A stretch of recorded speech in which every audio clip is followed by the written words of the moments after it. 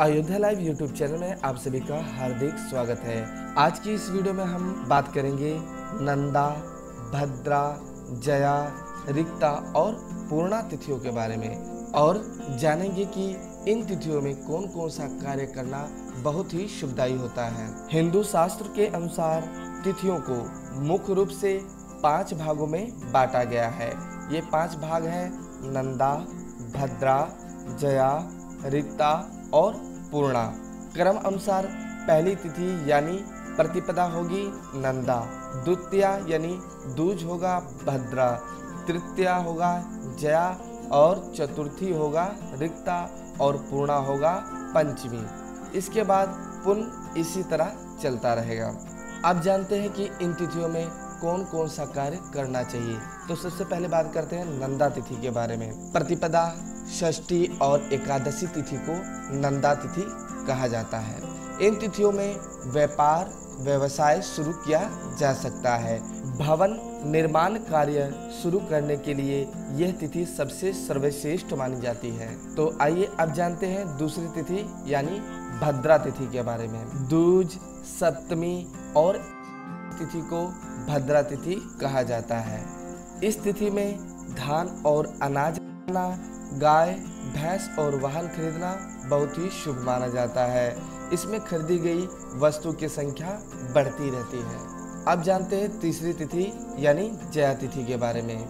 तृतीया, अष्टमी और त्रयोदशी तिथि को जया तिथि कहा जाता है। इन तिथियों में शक्ति संग्रह, कोर्ट कचहरी के मामले निपटाना शस्त्र खरीदना और वाहन खरीदना जैसे काम करना बहुत ही शुभ माना जाता है।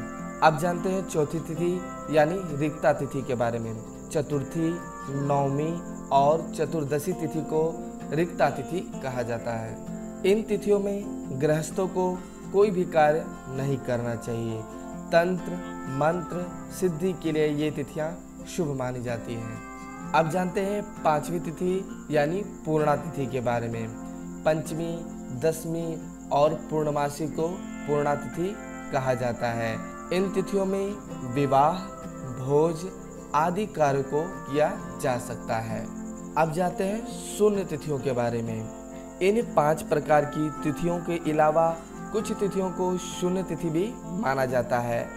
इन तिथियों में विवाह कार्य नहीं किए जाते, बाकी अन्य कार्य किए जा सकते हैं। ये तिथियाँ हैं चैत्र कृष्ण अष्टमी, बैसाख कृष्ण नवमी, ज्येष्ठ कृष्ण चतुर्दशी, ज्येष्ठ शुक्ल त्रयोदशी, आषाढ़ कृष्ण षष्ठी, सावन कृष्ण द्वितीया और तृतीया, भाद्रपद कृष्ण प्रतिपदा और द्वितीया, अश्विनी कृष्ण दशमी और एकादशी, कार्तिक कृष्ण पंचमी और शुक्ल चतुर्थी अगहन कृष्ण सप्तमी और अष्टमी, पौष कृष्ण चतुर्थी और पंचमी, माघ कृष्ण पंचमी और माघ कृष्ण तृतीया।